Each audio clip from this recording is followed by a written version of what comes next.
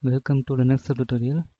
In this video, we are going to see how to install Apache Tomcat on Ubuntu 16.04. Tomcat is a web server. As like Apache, it was developed by Apache Software Foundation. It will also provide web services for the clients. As like Apache, Tomcat is a free and open source web server and it requires the Java installed on your system. So we must install Java before installing Tomcat. So now let's install Java first. Before installing any software, you need to update your repositories. So you can type apt get space update and then hit enter. Now the repository is updated. After updating the repository, you can run the following command to install Java. Now we can type this command to install the package for Java. Now hit enter. Now the packages are installing. Wait for some time. Here you can see now the Java packages are installed. Now let's check the installed Java version. Now type Java space hyphen version. Here you can see the Java version. Next we are going to download the Tomcat package. You can go to the Tomcat official site for downloading the package or else you can simply type the following command. Now use this command to download the package for Tomcat. Now hit enter. Now the download is started. Wait for some time. After downloading, you can see a tar file. Now we need to move this file into the slash opt directory. Now type me space file name space slash opt. Now navigate to the directory slash opt. Type cd space slash opt. Here extract the package using tar command tar space hyphen vf space package name. Now hit enter. Now it's extracted.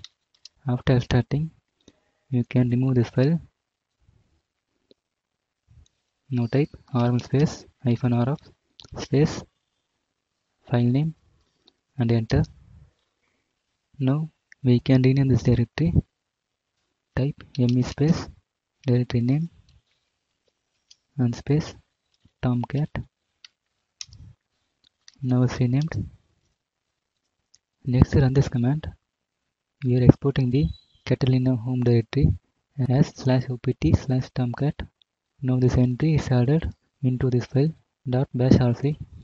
Now hit enter and then run this command. Next we need to configure the admin page access for Tomcat. For that you can open the following file. Now open this file and then here we need to create this entry inside this tomcat users tag and then you can set the username and password this one is for normal user and then this one is admin user. Now type like this and then save the file. Now everything is set. Next we need to start the tomcat service. For that move to the tomcat directory and then move to bin directory.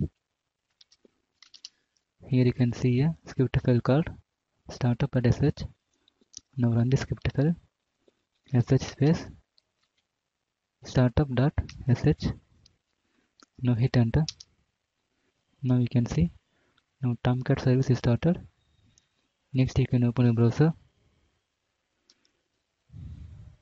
now we need to call the tomcat default index page by using the IP address of this machine with port number. So I will type my IP address with port number 8080. This is the default port number for Tomcat.